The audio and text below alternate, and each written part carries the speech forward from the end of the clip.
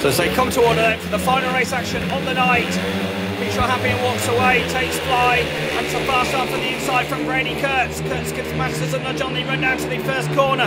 Bewley slightly out of shape. Here comes Ryan Douglas around the outside, and Douglas goes from fourth to second. Fine turn of speed for the Wolves man.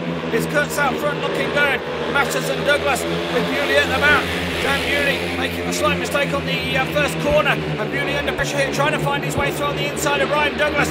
Douglas though won't be denied. Fabulous stuff here in heat number 15. Kurtz has checked out out front. The Wolfsman Masters in second now. Bewley changing his attack down on the inside of Ryan Douglas. Douglas running wide, trying to chase the dirt line.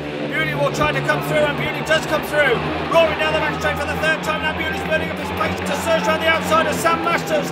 Dan Bewley trying to get into second. Masters though the Wolves skipper won't be denied. Nothing between them, so comes through with a lap to go. Dan Bewley committed to the outside here of Sam Masters. Masters though trying to block his run. Nothing between them down the back straight for the final time. And Dan Bewley is going to get into second. And the Aces are going to finish in with a 5 1. One last effort from Masters.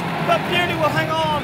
Brady Kurtz wraps up his night's work with the race win. But Dan Bewley battling his way through from fourth to second there in fabulous style. As the ATPI Aces take another maximum score in the final race action of the night in what's been a sensational performance from them here at the National Speedway Stadium.